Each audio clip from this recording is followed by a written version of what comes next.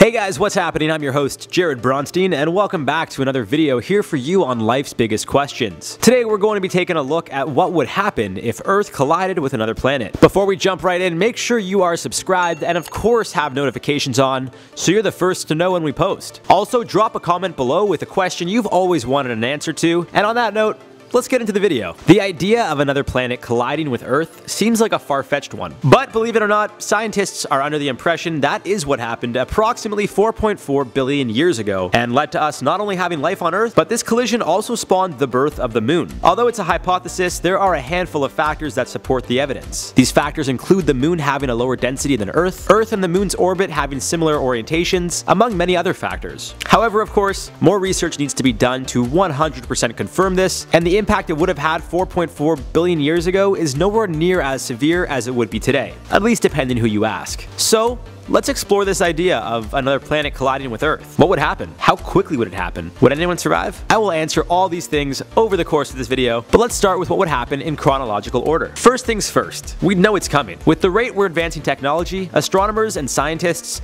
have been able to learn so much about our solar system and space in general that they would 100% be able to detect if another planet was headed our way. And if for whatever reason their radar wasn't working, we'd be able to see the incoming planet with our naked eye while it's still very, very far away. A good example would be Venus, which is at its closest, approximately 38 million kilometers away from Earth. It's the closest planet to Earth, yet at 38 million kilometers, or 24 million miles, it's still pretty far. So if a planet were to collide with Earth, we'd see this planet coming our way even when it'd be millions of miles away from impact. And unless we all have some sort of personal spaceship that we could hop in and join Elon on Mars, we'd be in for some pretty tough times as this planet got closer. But it could be weeks, maybe even months away at this point, slowly just making its way over. As the planet gets closer to Earth, gravity would start to go all out of whack, and it would pick up some serious speed. Tsunamis, hurricanes, storms, any natural disaster you could possibly think of would destroy most of the Earth and almost anything on it. And as the days went on, these disasters would get much more intense. But somehow, some way, if you were able to survive the kind of natural disasters you'd only find in a Michael Bay film,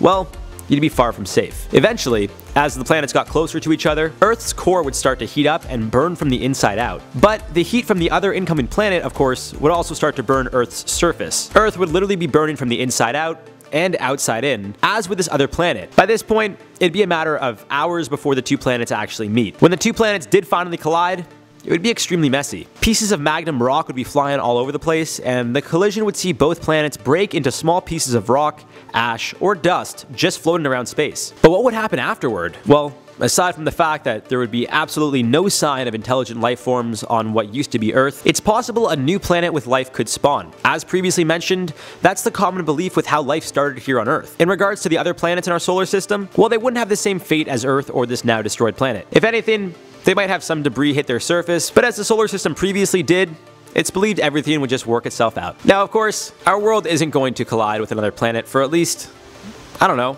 another 4 billion years? I mean, I'm no scientist, but what I can say is when and if it happens, I won't be alive. So I'm not too concerned. And you shouldn't be either. Unless you're planning on getting yourself cryogenically frozen, then you might have to be concerned. But if you have that much money, you should probably just invest in a spaceship with Elon. Anyways, guys, that does it for this one. If you enjoyed, please do let us know by giving the video a thumbs up. Make sure to drop us a comment below.